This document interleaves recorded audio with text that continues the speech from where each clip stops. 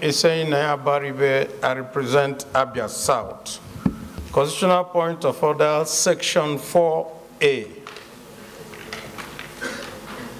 I read, the president shall not declare a state of war between the federation and another country except with the sanction of a resolution of both houses of the National Assembly sitting in a joint session.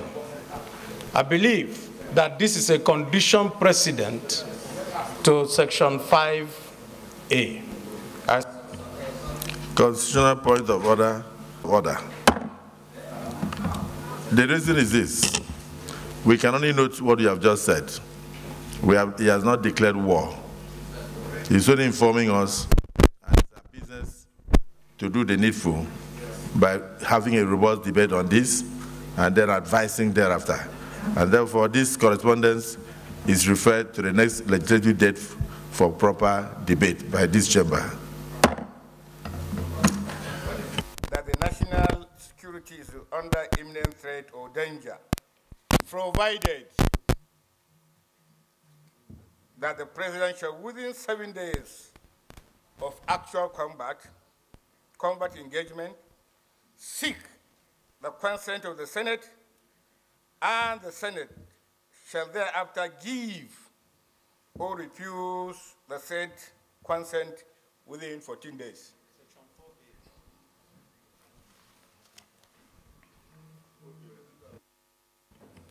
Well guided, sustained.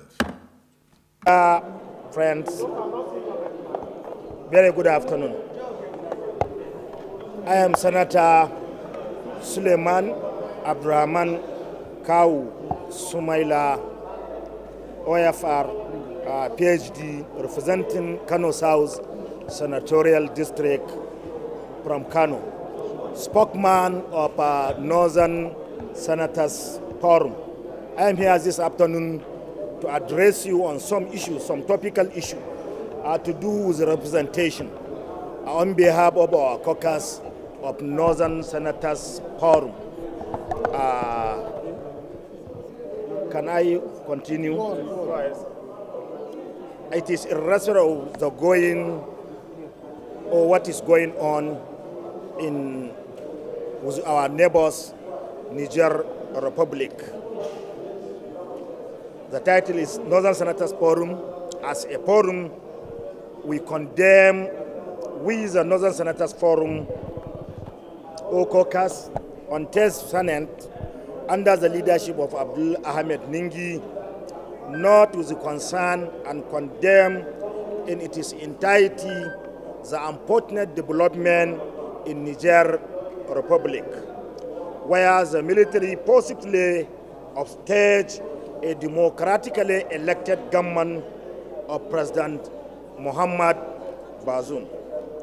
The Northern Senators also take cognizance of the effort of ECOWAS leaders under the able chairmanship of our dear President, President Bola Ahmed Tinubu in resolving the situation in Niger Republic. The emphasis, however, should be focused on political and diplomatic means to restore democratic governance in Niger Republic. We also take exception. We also take exception to use up the military force until all other avenues, as mentioned above, are exhausted. As a consequence, will be will be casualty among innocent citizens who go about their daily businesses. Besides, about seven northern states are share border with Niger, namely Kebbi State, Sokoto State, Zamfara State, Katsina State, Jigawa State, Yobe, and Borno State, respectively. We are also aware of the situation of Mali, Burkina Faso, and Libya, which share, which may affect the seven northern state because all these three states share border, border with Niger Republic. uh, if military force is used, there is serious implication for our country. If military force is used without using all the democratic or diplomatic channel in resolving the cogmia.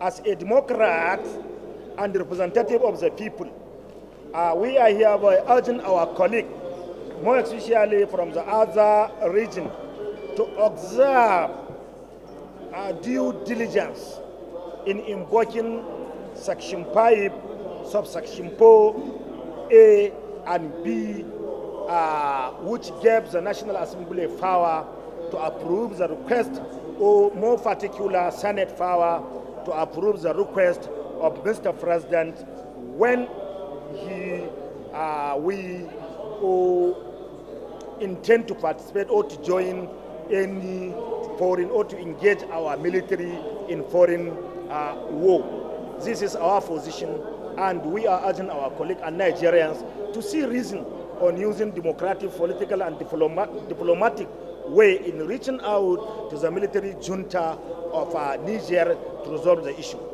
Let me re-emphasize that we, for almost two decades, Nigeria is battling insurgency, more especially in Borno, Yobe, and some northern states. And uh, also concerned about the situation of Mali, Burkina Faso, and Libya, where I can say virtually there was no government or recognized government uh, in Libya. If the situation allowed, or if the position of ECOWAS to use military force uh, to force the military to surrender power to the democratic elected president in Niger, it may lead us to another crisis which Nigeria will be at the receiving end. That is the reason why we are pleading with our colleague, pleading with our Nigeria, with our, the remaining leaders of ECOWAS to see reason in insisting that diploma, diplomatic and political approach is the best solution to resolve this cogmia. I do submit our position. Thank you so much. I am talking as my capacity or at my capacity as spokesman of the Northern mm, Senators Forum of the 10th National Assembly, inshallah. His name, his name? I am Suleiman, Senator Suleiman Abdurrahman Kawu.